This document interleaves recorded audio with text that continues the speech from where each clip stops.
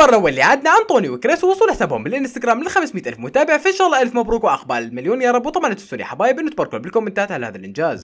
الخبر الثاني اللي عدنا عن مفاجآت ال YouTuber. فاول YouTuber اللي عدنا هو أسامة مروة وأنس مروة. فاسامه مروة نزل على حسابه بالانستغرام شوية ستوريات وبهذه الستوريات كان يعلن خلالها. إنه راح ينزل مقطع. ويا أنس مروة على قناة ال gaming أما ال YouTuber الثاني عندنا فهي بيسان اسماعيل فبيسان نزلت على حسابها بالانستغرام شوية ستوريات صارت تقول بها إنه هي راح تنزل مقطع اليوم. الساعة 8 بعد الفطور. راح يكون فيديو نار بحطلكم الستوريات. تشوفوها صباح الخير.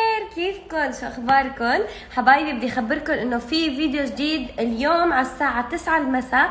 حسيت إنه بعد الإفطار حيكون إنه أنتم مصحصحين أكثر وهيك فرح تشوفوا الفيديو. لهيك حط لكم هون جرس. آه، فعلوه لحتى يوصلكم إشعار فيديو خرافي اليوم.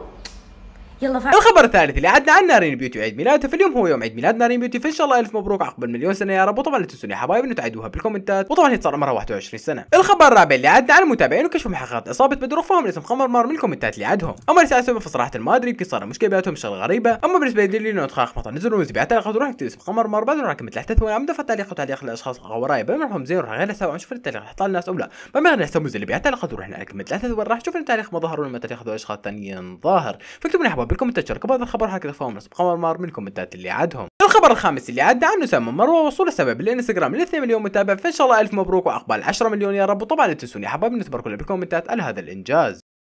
الخبر السادس اللي عدنا عن أبو فله وليش هو صار يبكي؟ فأبو فله نزل على حساب الإنستغرام شوية ستوريات صار يبكي بيها. وما نسي على سبب صار يقول إنه هو شلون كان قبل وشلون صار حاليا. مسوي giveaway على 10 سيارات بمناسبة وصول قناة ل 15 مليون متابع. أعطيكم الستوريات شوفوا شلون صار يبكي. ودي أقول شيء يا جماعة الصراحه من قلب لقلب يعني.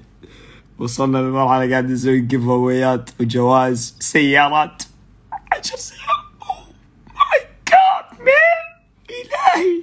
damn damn man أنا آسف على الصوت بس damn son wow ما شاء الله تبارك الرحمن يا جماعة. وربي يا أخي.